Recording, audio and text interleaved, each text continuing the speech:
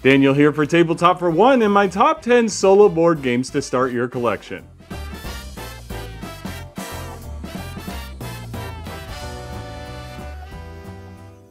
And I thank you for joining me tonight for my top 10 list of solo board games to start your collection. Now, some of you may be wondering what I'm still doing with hair. I, have said that I will shave my head here pretty soon. Uh, it's just getting too hot and my hair is getting too long. It's all curly in the back and stuff. But I'm having a hard time letting it go, so I may just keep it around just a little while longer. But don't be surprised when I go from this to completely bald here in a short while. Now, I've put together a list, and this list is actually 30 games. It, will be three games in 10 different categories. And this is not a tiered list, as in 10 is the worst and 1 is the best. This is a list to help you to start your solo board game collection if you haven't already. And if you have, maybe this will give you a good idea of some games to look out for. Now, I grouped all these games with uh, various groups. Uh, some of it's for mechanics, some of it's for opportunity, and uh, it, it'll make sense as I give you my list here. And one other thing I want to say about this list is I tried to tailor it to be more budget friendly. So I do have some games on the list that are uh, in the above $50 range, but most of these games you can find for less than $50. So I, I tried to tailor it that way, especially the 10 games, one in each category that I'm gonna highlight specifically. Those should be available for $50 or less. A lot of them a lot less. So I tried to tailor it that way for you. Now, I do have one honorable mention, and I want to mention the Guild of Merchant Explorers. Sorry, covered up Pop Cthulhu there. so, the Guild of Merchant Explorers didn't really fit in one of the categories. I think this is a really good game to start your collection, and so I would highly recommend you seek a copy of this out. It often goes on sale on AEG's website, or you can find it for a pretty good price uh, uh, with your online retailers. This is a great, relaxing, fun solo experience. It's easy to play, it's quick to play. There's a lot to do, there's different maps, there's all sorts of things, and a lot of replayability. I, I, I don't know. I don't think I've heard anybody really say much bad about it, other than maybe the colors or the way it looks. But the gameplay is fantastic, and I highly recommend it. And so for our number 10 category, this is called dice-based games. Now, this can encompass all sorts of games that use dice. This is where the dice are like the, the primary uh, mechanism in the game, whether you're rolling the dice or placing the dice or doing something with the dice. Everything revolves around the dice. And so there's a couple games I recommend. One is Siege of Valeria. Now, bear in mind, as a disclaimer, I received a review copy of that but I find it a fascinating game. The dice placement's really good. It's a tower defense kind of game. And the next one is Elder Sign, my absolute number one favorite dice game. I love Elder Sign. It's so challenging, so fun. Uh, although some people find it aggravating how fast you can lose, but I don't know. I I love the challenge. I have all the expansions. I have the really hard expansions, like like the the Pharaoh one, the one in Egypt. That one's like near impossible to win, but I love playing it every time. So I, I recommend Elder Sign. But the one I want to highlight tonight is Roll Player.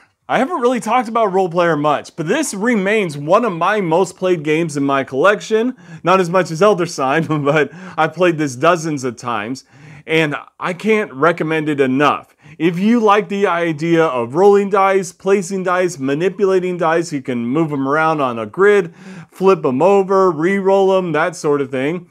And then uh, doing this game where you're creating a character you're creating a d&d character that's what it kind of you know harkens back to is is d&d character creation. Now you you need to know that you don't do anything with the character. A lot of people think that uh, um, the game should include that. And it does. In an expansion you're able to fight off monsters and minions. But oh that's the name of the expansion. Sorry. But i highly recommend the game at, at its core game.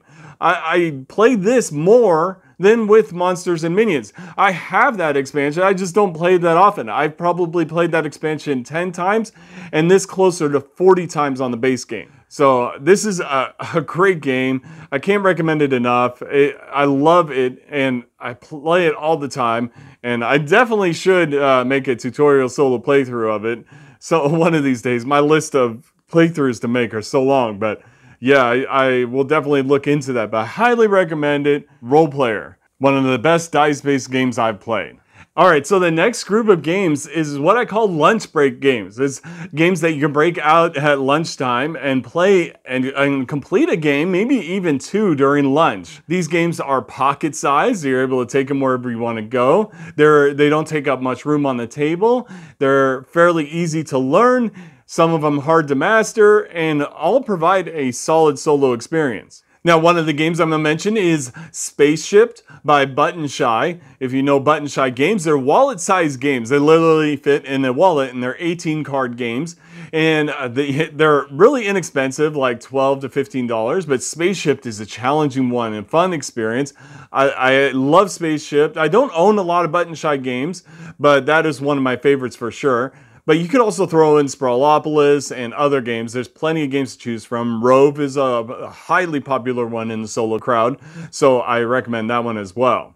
But the one I want to feature here tonight is one that came out recently, and it's from Jason Glover. He's known for his Game Crafter Mint Tin or Tin Mint Mint Tin games, and he recently came out with one called DustRunner. so DustRunner is like a Mad Max kind of game where you're traveling across the wasteland trying to avoid raiders and trying to get enough fuel and ammo for your car and make it to the end. And so DustRunner is a great game. It takes like 10 to 15 minutes to play, maybe 20 minutes. It's very easy to learn, but it's challenging and there's just a lot going for it. It's it's a fun thematic experience and the colors are great. I, I like the color scheme. The, the pink on black really works. But you can lump in some of the other Mint Tin games such as Gates and Tin Helm that Jason Glover has offered. And I don't know if you've seen his Facebook, but he's got another one coming up. I think it's a Mint Tin game. It might not be, but it's called Underquest. I, I believe that's what it's called. The art looks fantastic on it, so keep an eye out for that one. All right, for number eight, the next group of games is a type of game that's been exploding in the board gaming community. It's called Roll and Write, and it also includes games that are flip and write, where you flip a card and write something on a, a paper. So there's a lot of games out there now, and there's more and more. I think there's at least like two or three released every Tuesday on Kickstarter. I, I swear, it's like so many roll and write games. It's it's a huge amount of the hobby right now.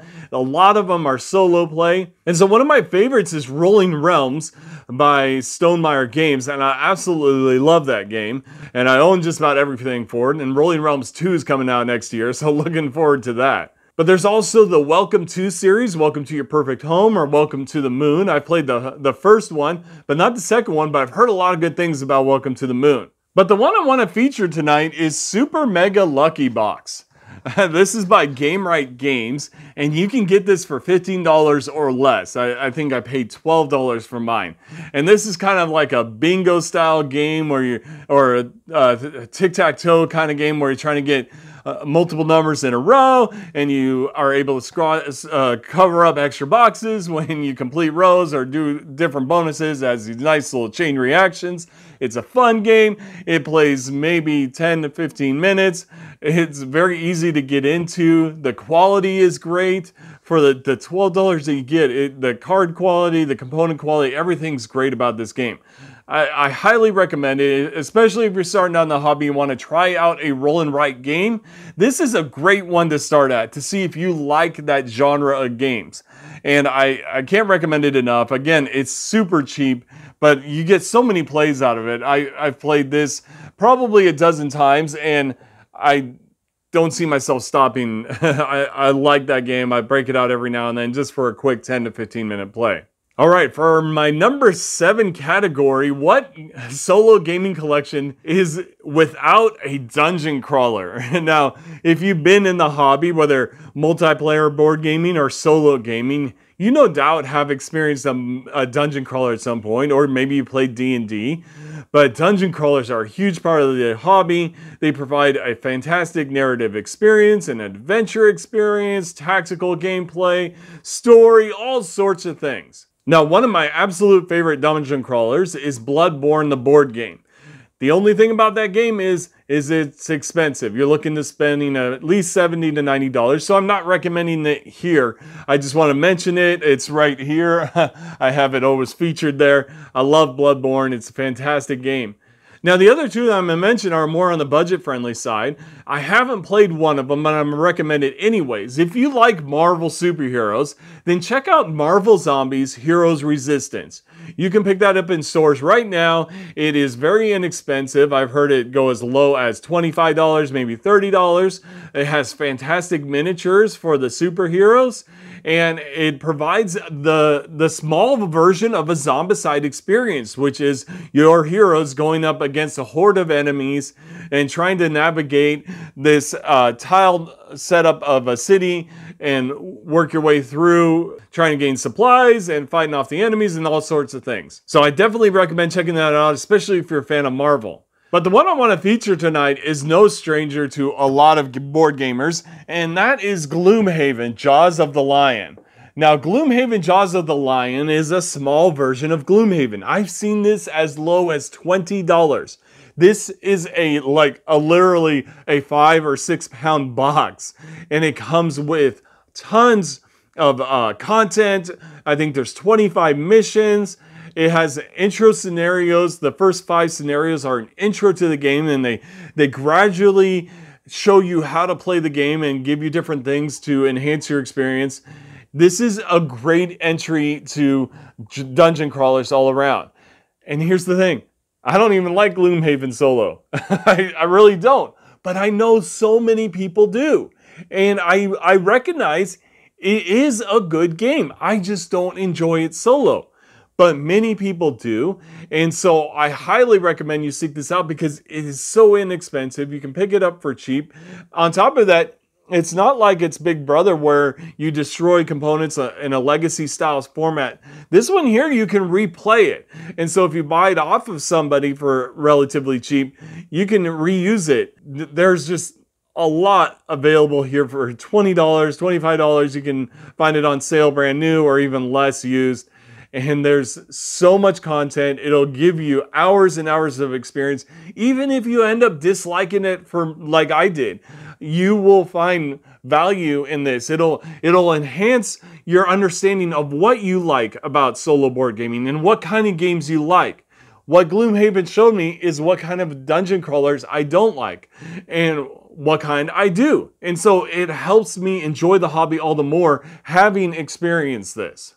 All right, the next category is what I call adventure card games. And this can encompass all sorts of games, but I want to feature just three here. And one of them is Arkham Horror, the card game.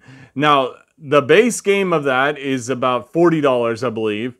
But honestly, you're going to end up spending more money. So if you go down the Arkham Horror road, the base game content is not enough because it just whets your appetite and you're going to want to grab everything else. But I don't recommend that unless you want to, unless you're able to spend the money to support your ongoing enjoyment of that game. The other one I want to recommend is Gloom of Kilforth.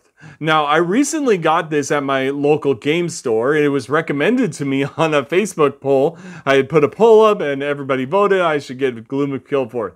And they weren't wrong. It's a fantastic game. I can't wait to show you in a tutorial solo playthrough. I love this game and I was surprised why I hadn't got it before. And now I want the rest of the Kilforth series, but it's a little bit on the expensive side. Again, this game is above $50. So the next one I want to talk about and the one I want to highlight tonight is my number two favorite solo game of all time. And that is Warfighter. now, Warfighter, I love this game so much. Sorry, we will have uh, we will have Pop Cthulhu hold everything up here. There you go. Anyways, I love Warfighter so much. I even have a tattoo of Warfighter on my arm. I, I love this game. This game has been so important to me in the hobby. It, it was one of the games that brought me through some of the darkest times in my mental health. And so I absolutely love this game and I can't recommend it enough. Now, what I'm featuring here is the modern edition. This is Warfighter Modern, the fourth edition. And what this reminds me of is if you've played Call of Duty or any of those army video games, that's what this reminds me of. It's modern combat. It feels like you're a super soldier sometimes, the way you outfit your, your soldiers, and you can just go in and finish the mission, get to the extraction, do all sorts of things. It's such a great game. Now, my, my favorite edition is the World War II edition, but I'm recommending this one is because I think this one is uh, a better entry into the Warfighter universe. I think it's easier to grasp. I think it's got more of the fun factor. I'm not saying I don't enjoy uh, World War II more. I really do. But I think this one's got more of the fun factor for it. And I think it's got a wider reach. I can't recommend this enough. You can get it for about 40 $45 if it's on sale. It's such a great game. And you, okay, you're going to ask, how many expansions do you need? Because there are dozens of expansions for this game. All right. I'm going to tell you zero. Okay. The core game will give you a hundred hours of content, a hundred at minimum the core game. That's it. So don't even worry about buying expansions. Don't even think about it. Just try out this game and see if you enjoy that and and work your way through all the different kinds of missions, work your way through the campaigns. Yes, there's campaigns in this game. Then decide at the very end if you want to expand it. And then you can go down that road, but you don't feel the need to spend it right away. All right, so we're halfway through. This is one of my longer list videos because I'm really talking about 30 games here. I apologize. I try to make these videos short, but I want to talk about so many games. There's so many great games to experience in this hobby and especially in the solo board gaming community. And I want to uh, for showcase so many of them. My, my table will only hold so many of them. Now, the next category I'm going to call resource management games. Resource management games are games where you are gaining or producing resources, maybe buying resources, trading resources, trying to use your resources to the maximum ability so you can score the highest in the game or beat out the AI. Now, two of the recommendations come from the same designer, and that's Uwe Rosenberg. He does some fantastic resource management games. They are so good. I love his games, and I'm trying to collect all of them. Like, I really am. One I want to recommend is Nusfjord. Now, Nusfjord is such a great game. It's a worker placement game where you place your worker, do an action, but those workers you place in one round will block you in the next one, so you can't repeat those actions. And you're trying to build out your fishing village, you're trying to fish for fish and log the forests and all sorts of things and build out these buildings to score a lot of these points. It's such a great game. I can't recommend it enough. And the best thing about it is Nusfjord is coming out with a big box edition and includes all the expansions and the, the previous expansions that are out of print and new expansions. I can't wait for the new expansions. I'm going to be picking those up no problem. And the other game by Uwe Rosenberg is Glass Road. And I recently did a tutorial solo playthrough of Glass Road and it's a very tight resource game and it has this really interesting uh, resource management wheel where when you gain certain resources the wheel automatically turns and it gains you other resources on the other side. It's really interesting. It's really uh, fun and i really like that game. It's a very good entry level game and uh, it's still in print and I, I found mine for 40 bucks. I bet you can find yours for cheaper maybe used. But the one i want to feature here too tonight is uh, one that's to barely fit on the table but that is the pursuit of happiness. So the pursuit of happiness is a, a game about living the best life. You start as a teenager, getting odd jobs, and then uh, you know working your way, and you can gain other jobs that let you become different. You know these different tier jobs. You can even become president of the United States. But you're also doing all sorts of activities. You're going on adventures. You're doing. You can even collect board games. you can do all sorts of things. You can exercise. Uh, you can also date and marry and have kids and all sorts of things things. Now, this is the big box edition. This was recently delivered to me. I had the original edition. I got the big box upgrade here.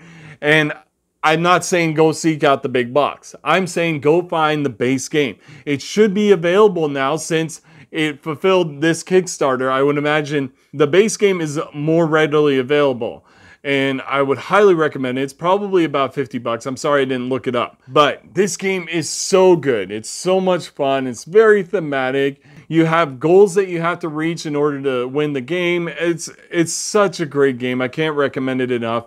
Okay, the next group of games is called tile laying games. And I have quite a few to recommend. You know, one of them is going to be Planet Unknown. I think that's a good entry level, but you know what? I have, to, I have to tell you, the cost is too much. It really is.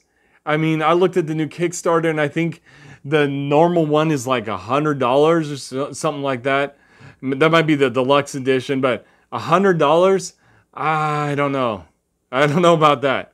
But it is a good game. It's a good entry level game. I'm actually thinking of selling mine though because I've played it about 40 times and I've seen everything there is for it. And I've got other games that do that better. And one of those games is Wild Tiled West that just recently came out. Is made by the designer of Dune Imperium. And I, I just did a tutorial solo playthrough of it and I love that game. It's fantastic. And one of the solo gamers in the Facebook communities mentioned the fact that there's actually a campaign for it on the uh, Dire Wolf app. So I have to check that out because I want to do that campaign.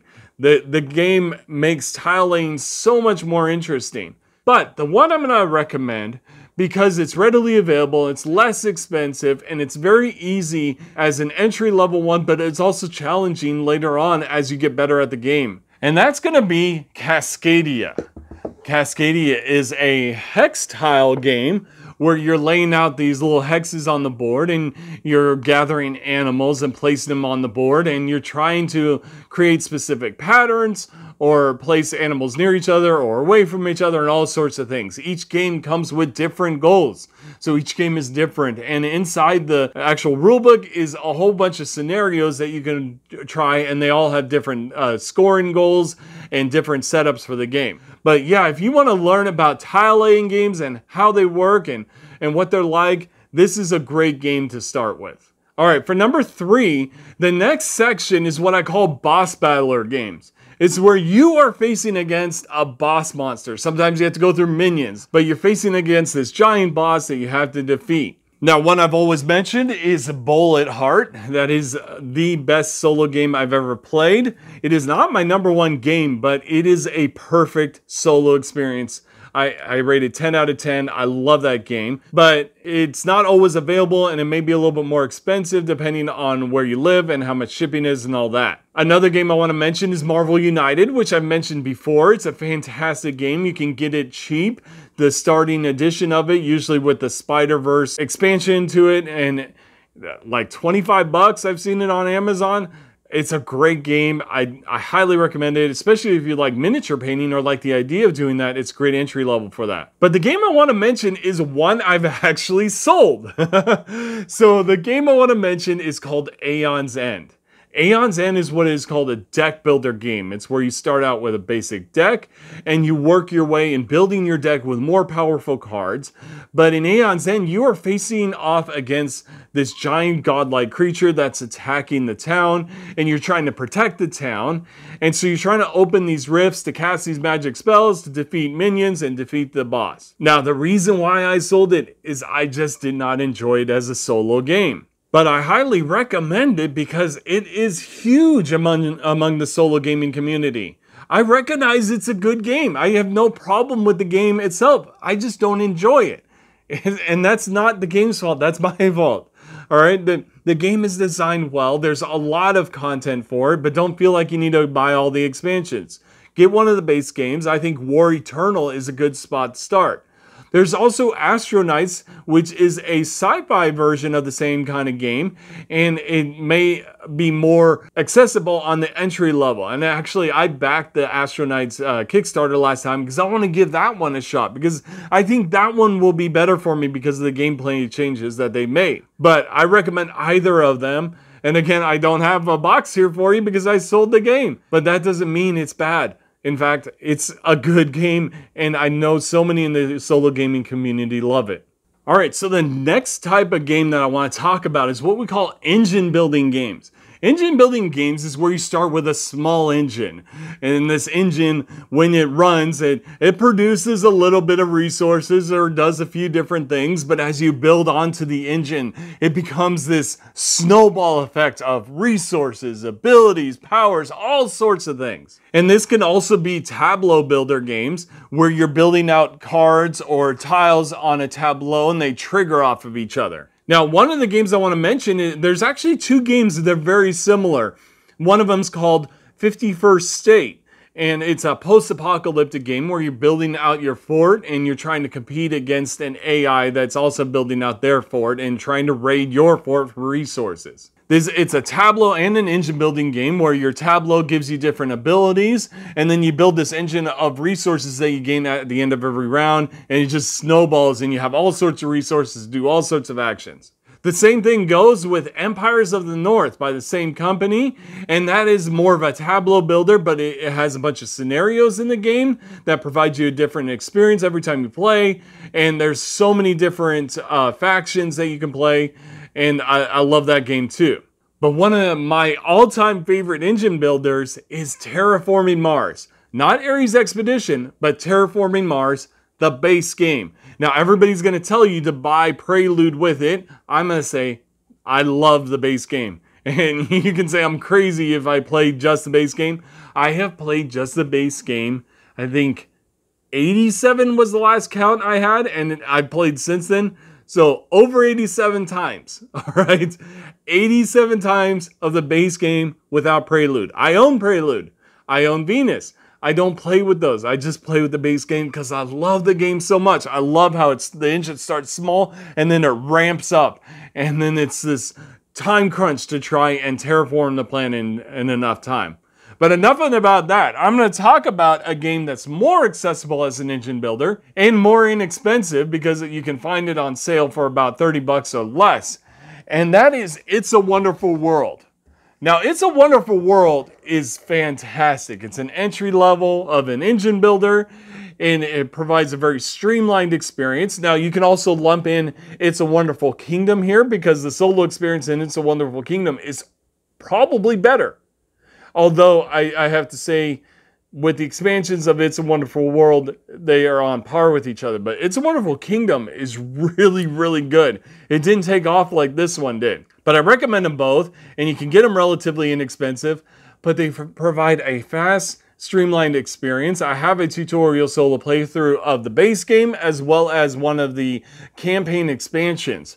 And so if you want to check it out, that, that'd be a way. Again, you can get this for about 30 bucks. It plays in about 20 to 30 minutes and provides this fantastic engine building experience where you start up producing uh, like four resources and then by the end you're producing 30, 40, maybe 50 resources. All right, so we're at our number one final group of games, and this is what I call crisis management games, or maybe you've heard of firefighting co op games, something like that. It's basically games where there is a crisis on the board and you try to solve it, and sometimes the crisis goes out of control and you gotta push back at it. Pandemic comes to mind. Marvel United is one of those. Even Bullet and Cthulhu Death May Die and all sorts of other games are part of this. But the one that eclipses them all and my number one solo game of all time is Spirit Island.